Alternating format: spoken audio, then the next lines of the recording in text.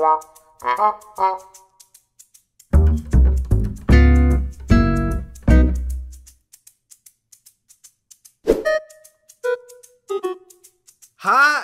everyone. I'm a Elon Musk. Hi, everyone. This is. that wasn't even that funny. Hey, everyone. This is Train Boy, and welcome back to another video. Why am I still laughing? That wasn't. That was terrible. Um, today I thought I'd do another tier list video. I haven't done one in a year.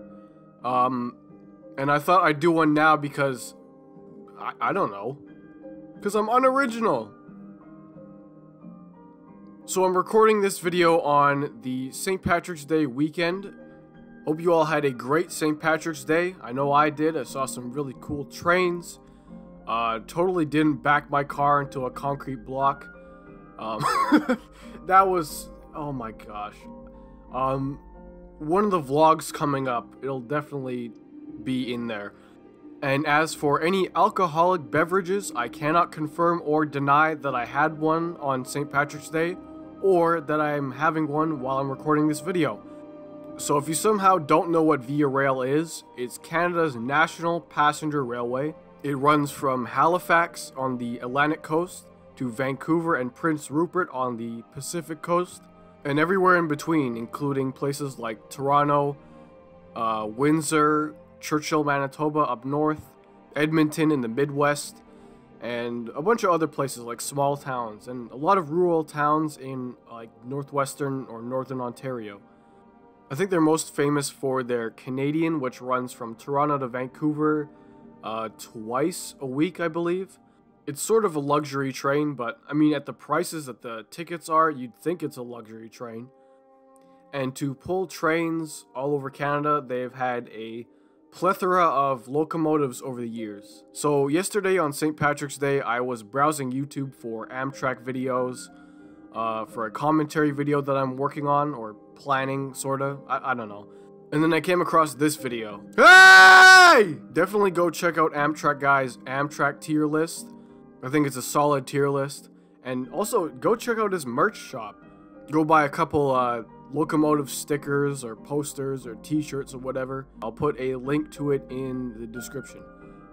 Or the video at least, and you could find it through his channel, whatever. Anyways, and then I thought to myself, we have a lot of YouTubers who cover North American uh, passenger railways, like mostly ones in the States, like, you know, Amtrak, of course, Metra, uh, and there isn't really any for Canada, like on Via Rail or Go Transit or whatever else we have.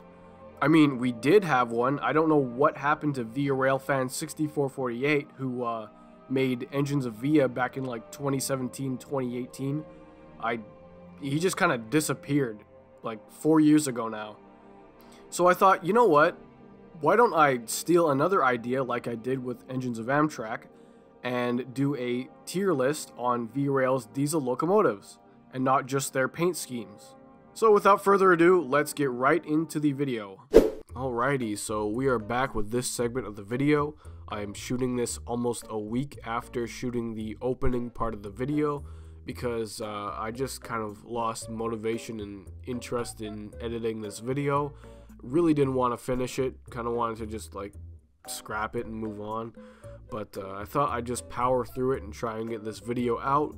And uh, yeah, so in the short time span that I've been procrastinating on this video or contemplating if I want to finish it or not, I got sick and the tier list uh, website uh, decided to rearrange the photos so they're not in order anymore so I'm just gonna go from left to right. Alrighty, so starting off on the far left we have the UAC Turbo Train. Honestly, I like the design of this uh, train set. It's pretty cool. Uh, I guess the only gripe I have with this design is the quad headlights up front. They don't look too nice. Um, and they look a little better in CN's paint scheme rather than Via's. And it's kind of sad that none of them were preserved because it would really make an interesting museum piece or an operational like heritage kind of thing if one of them was still around. I guess I'm gonna put this in let's go with uh, B.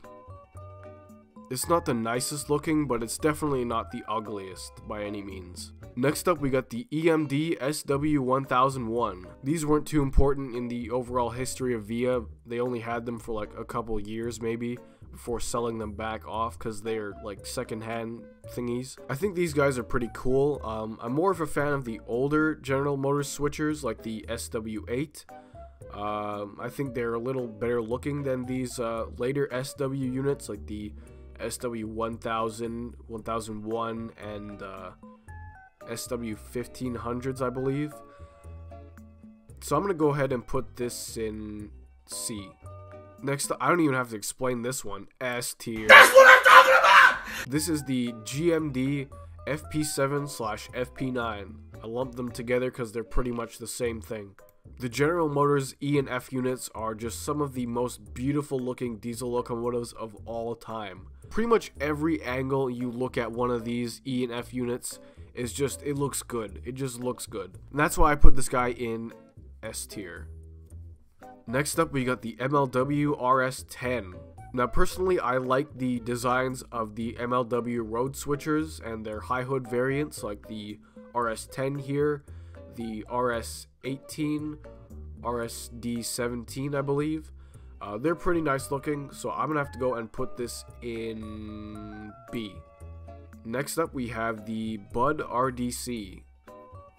This is a beautiful looking rail diesel car. I love the designs of the Budd cars. They're really nice. The stainless steel design on the outside is nice. The cabs on both ends are pretty nice looking uh, in some cases. And I'm glad to see that they're still in service uh, 70 years later on VIA. I'm going to go ahead and put this in A. Next, oh for goodness sake. Ah! So this is the GE P42DC. This is part of their Genesis series of engines. You got the P40, P42, and the P32 ACDM. Honestly, I really don't care for the designs of these locomotives. I don't really care for the cab design, the body design. Uh, apparently, they're like maintenance nightmares because you have to take the whole body off to do like major repairs to like the engine or whatever.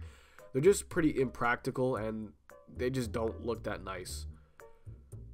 I guess the only things I would say that I kind of like about the P42s or the Genesis engines are their distinct GE chugging sounds. You know, the GE prime movers make this nice chugging sound, which reminds me of the old uh, MLW or Alco products, sounds really nice.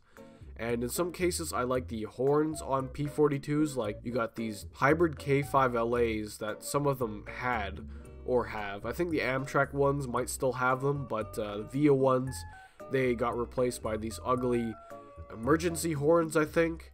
Uh, they're K5 CA somethings. I can't remember the model names, but they just don't sound nice on top of a already not that nice looking locomotive. So that's why I put it in D. Next up, we got the GMD F40PH-2. I am so sick of the F40PH. D. Next, I'm just kidding. The F40PH is an iconic locomotive. It's a fan favorite like all across North America. Like fans of Amtrak, VIA, a bunch of commuter railways like Metra, Coaster, MBTA, whatever, are I'm sure big fans of the F40PH. I like the design, it's just iconic. Um, however, I prefer the original F40PH-2s that VIA had up until about like 2006 to the uh, 2006 to like 2011 rebuilds. I don't really care for that uh, little hump at the back of the F40s or the rebuilt VIA F40s, so I'm gonna have to put this in uh, A. Now, unrebuilt VIA F40PHs would go in S definitely. And I don't have a picture of one here, so yeah, boom, there you go. Next up, we have the IC3 Flexliner. I believe this is a Danish company that built these guys. Uh, VIA tested them in the fall of 1996, I believe. Uh, their paint schemes are interesting. That's pretty much the nicest thing I have to say about them. But uh, overall, the designs are really European looking and they're not that great. And the big rubber thing at both ends of the train set, uh, it's really weird looking. Um, If I were to rank this on like paint schemes like I did last time, the paint scheme would probably go in maybe a C, uh, but design wise, this is definitely going in D. Next up, we got the EMD E8A. Again, I love the classic General Motors uh, F units. I'm going to have to put this in S as well. Honestly, I can't really decide if I like the E units more than the F units or vice versa, so I'm just going to put them both in S. Next up, we got the Bombardier LRC. These are pretty interesting locomotives. I think the design is neat. Uh, from some angles, it looks pretty good, but from the front, it looks... Eh, it's it could look nicer. I'm gonna have to go and put this in, let's go with B. Again, sort of like the turbo train, it's not the nicest, but it's not the ugliest. Next up, D. Bruh. I'm just kidding. This is the Siemens Charger SC42, something like, I don't know. I forgot the model name. There's a bunch of different model names for the Siemens Charger engines. Like Amtrak has the SC44, uh, the ALC42, and then there's uh, the Brightline. I think they're called the SCB40s or something like that. Honestly, I don't really like the Chargers in general. The VIA ones look a lot nicer than the Amtrak ones, and uh, I'd say they're on par with the uh, Brightline ones, the super streamlined Brightline ones. But I'm to go and put this in C actually. For a Charger engine, it's not too too ugly. It's not like the original SC44. Um, I'd say the Brightline one looks a little nicer. And last but not least, we have the MLW FPA2 slash FPA4. These are some really nice looking diesel locomotives. I like the designs of them. They're kind of like the E and F units, just a little more boxy than those two. I'm gonna have to go and put this in. Let's go with A. Alrighty everyone, so this is my personal ranking for Via Rail's diesel locomotives that they've rostered. Oh, wait a, What the heck is that? What? This is like a Via Rail locomotive off Wish, man. What the heck is this? So this is BC Rail SD40-2 757 that got painted for a movie into Via Rail's paint scheme at the time. I don't know when the movie came out or anything like that. I think it was like the early 90s or something like that. I like the paint scheme and I love the SD40-2, so you know where this is going. Right up there in S tier. First place, S tier. This is a goaded locomotive. The SD40, oh my lordy lord. Alrighty everyone, so this is, as I said, my personal ranking for Via Rail's locomotives that they've rostered over the years. I'll put a link to this tier list in the description if you want to rank it yourself. Uh, let's say you want to put the F40 in S tier and the E units in like B tier or the turbo train in D or the P42s up in S or whatever, which would be a cardinal sin and I would have you arrested. Don't forget to uh, like or dislike twice. Uh, subscribe, leave a comment because I know everybody's going to freak out about the F40 and the Genesis engines. And don't forget to uh, subscribe for upcoming train commentary videos and whatnot.